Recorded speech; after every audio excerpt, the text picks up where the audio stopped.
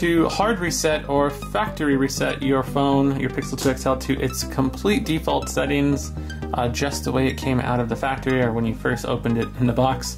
Uh, all you have to do is go to your settings, scroll all the way down to System, tap on Reset, and then here you have a couple different options. You can do network settings reset, which will just reset all your network settings like your Wi-Fi and you know the service provider and all that stuff that's on there.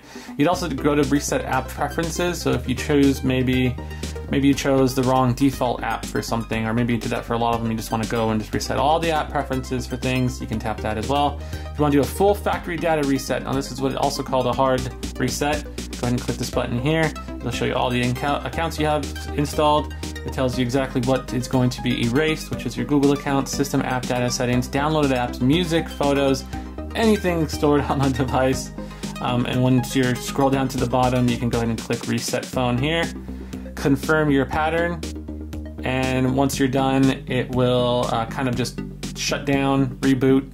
And once it's finished rebooting, it'll be back to its official factory settings, and this will allow you to either send the phone back for repairs or maybe sell it to somebody or gift it or pass it down or hand it down to someone else. So that's how you factory reset the Pixel 2 XL.